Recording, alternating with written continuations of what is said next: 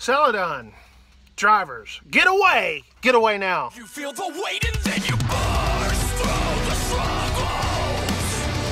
Tearing through flesh with the heart of a lion. We will build the war. Celadon drivers, why are you still there? Go! Go away. What is it like to be that PR person? You know, what is it like to be that social media person? Come work for Celadon. In the meantime, you know your job's fixing to go away. You're putting in applications for somewhere else before you hit the unemployment line. Why do I see drivers still going to Celadon orientations? Why do I see that when when the company is what a week or two away from just going under like that? I remember Arrow back 10 years ago. Was it 2006, 7 or 8 or something like that? Drivers getting stuck in truck stops. They were freaking stuck. And we didn't have Facebook back in the day. I think Facebook was probably around, but it wasn't as big as what it is. That was back in the MySpace days. And but you hear all on the radio, on the satellite radio, trucking news, that all these drivers were stuck. Fuel cards shut off. The company wouldn't answer their phone. the office employees were locked out. And you got all these drivers stranded. Is Celadon next? Is Celadon going to be that next situation? Obviously, I think social media wise, we're in a better situation we could use Facebook and get the news out saying, hey, so and so stranded over here, let's help them out. Celadon and Swift are kind of like two things that are almost kind of somewhat parallel a little bit. How they would buy all these companies out. I mean, you would see all these associations with uh, USA Truck, um, Tango Transport. They bought out Tango Transport. Or Tango Transport, they bought from Shreveport, Louisiana, they bought for their contracts. And guess what they did to Tango Transport? They put a for sale sign in front of their terminals, a for sale sign in front of their corporate office, and guess what? All those trucks went away. And eventually those customers became other people's customers and Celadon went away. What was the whole point of that? Just like Swift. Swift buys out all these companies. That's how Swift got big. They bought out MS Carriers. They bought out Central. They bought out all these other companies. And now look at them.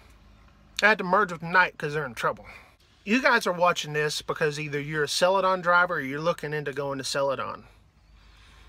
I wonder what that company is telling you if you're working for them. Are they telling you that hey, sit tight, your job is fine here. Obviously, they have to tell you that. That's some PR person telling you that. That way you could go take that load. But guess what? Guess what? That time's ticking. You've got corrupt people running that company. You need to get out of there.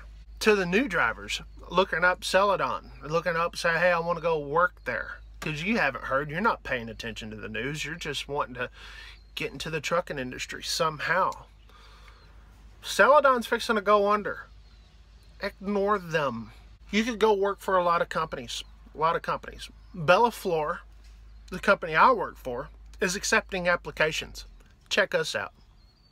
I saw a picture on Facebook uh, that Celadon posted. They had their uh, truck at an elementary school showing off their truck. And this is when all this stuff is crazy stuff's going on at Celadon. And and it's like like nothing's happening. Let's totally ignore it. And they're hoping the drivers are paying attention. Sadly, drivers are paying attention to what the page is saying. Oh, nothing's going on. Nothing's going on. I've seen Celadon Facebook groups. Totally in denial. Totally in denial. Oh, we'll get out of this. We'll just get out of this because our bosses tell us we're going to get out of this.